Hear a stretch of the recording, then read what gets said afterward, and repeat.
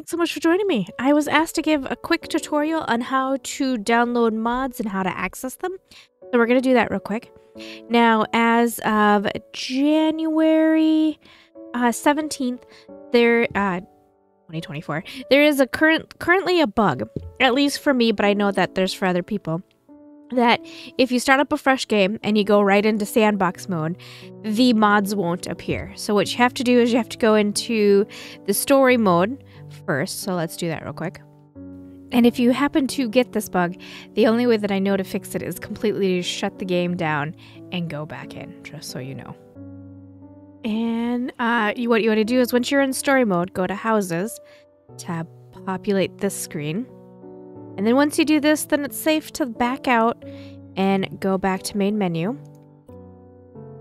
And now you can go to sandbox mode. Now, for me, the screen takes some substantial time to upload. I don't know why, but it does. All right, now uh, you want to go to mods. Okay, so you are actually seeing mods that I already downloaded, but what you do is you go to Mod.io on a web browser. You can click this link and it'll take you to it. So if you go through here, you can sign in. Uh, you you do need to have an account because you have to link both of them together. So you do have to do that. Uh, and it looks like there's actually uh, some new mods since the last time I checked. So what I'm going to do is I'm going to hit subscribe. And it since the counts are linked together, it should automatically import them for me. Ooh, I like this one. Lost Hotel. Uh, let's do this cottage. Um, I think I did that one already. Rustic Hideaway, Abandoned House. Sure. Uh, apartment 16. Industrial Forest Haven. Uh, house with a dark secret. That sounds promising. Um, you can also filter it out, which I'm going to do real quick. I'm going to say recently added because I do look at this roughly nearly every day. So, um, we've got the Croft Manor. You can also separate them by custom jobs, uh, which is fine too. Uh, make the home younger. I'm not. piece in the forest. This one looks like it might be already decorated, so I'm going to avoid that one. Um, I do plan on doing a quick series where we go through and we look at decorated homes because there's some really fun ones. There's like a Hobbit. Uh, there's a, a, competition going on right now. Caruso's Abandoned Island, uh, or Hideaway, I think maybe what it is. Uh, so I do plan on doing that. Now, if you don't want to use the Steam browser, you can use any browser of your choice. And you can also manually download the files on the mod.io of, of the player house that you like and install it in a folder. Uh, to get to the folder, it's you can see the folder link in the game as well. Uh, that works. I just find it more convenient and easier to do it through here. The spaceship on our remote. Okay. Fixer upper. Man, last I since I looked, there was quite a few that was added. I'm impressed. Right, now we're at. Uh, now I think we're back to where I last looked.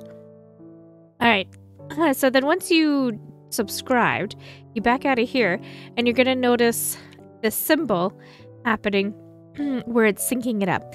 It may take a while. Oh, well, they say that and now it happens really quickly, so never mind. Uh, yeah, so then here they are. And then you can just click them and continue on. If you look to the top right, you're going to see a button that says import right next to the logout in between the mod IO. That is where you go to import a file if you download it from the web browser of your choice instead of syncing the two accounts. Um, really big homes tend to break. Uh, garbage, when the map is loading, garbage sinks.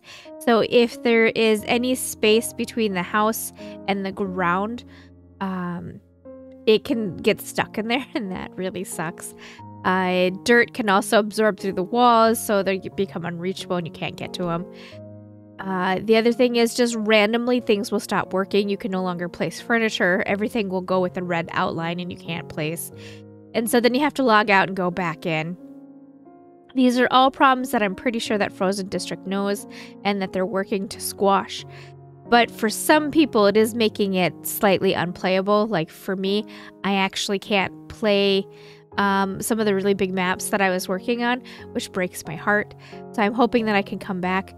Um, I if I if it doesn't get fixed in the way that I'm hoping it does, I do have another plan in in backup, which is you can enter a, a place and say alter the floor plan. And if you do that, then maybe I can save it to my common documents and work on it that way. I'm hoping. Uh, but I'm I'm holding off because the the biggest one, the the manor in the forest, um, I'm I made quite a big dent on it. Oh, the other problem too is you can't interact with player placed stairs. So if the mod maker placed stairs and uh, especially stairs, you can't sell the stairs and nor can you change their appearance to look from destroyed, which is one of the reasons why I walked from Manor of the Forest, is because it has those two grand staircases that we love, but they're damaged and I can't fix them. So uh, that's why it's on hold right now. But anyway, that is how you get to player made at homes. Uh, the smaller ones work great. Bigger ones, you may run into some problems. So, if you have any questions, don't be afraid to leave me a comment. Just know right now, as of early January, there is still quite a few bugs with the game, and you're going to struggle with some of the, the modded homes. All right, thanks for hanging out with me. I will be back real soon. Up next is we are going to be doing some modded homes because we just finished the Sunny Bungalow, and I like to flip in uh, between uh, vanilla homes and modded homes every other episode. So, all right, be back